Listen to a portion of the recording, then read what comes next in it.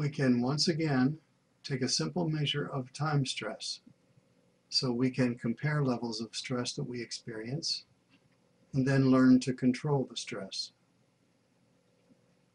On a scale from 0 to 10, where 0 is the least and 10 is the most, how much stress do you feel about time right now?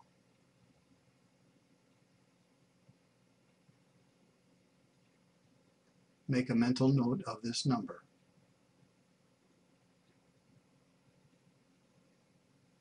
How does it compare to the number you estimated earlier in the course?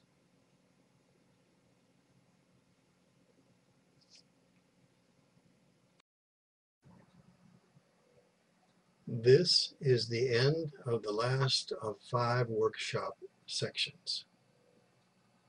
Congratulations on having completed the workshop.